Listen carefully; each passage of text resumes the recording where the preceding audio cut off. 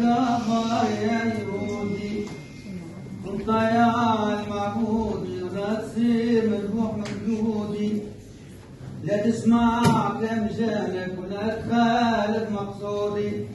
وان خالفت يا ويلك تقام تطير عالي جاوبوك